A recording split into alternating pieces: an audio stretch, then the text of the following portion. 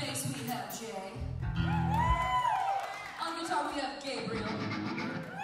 On drums we have Tim.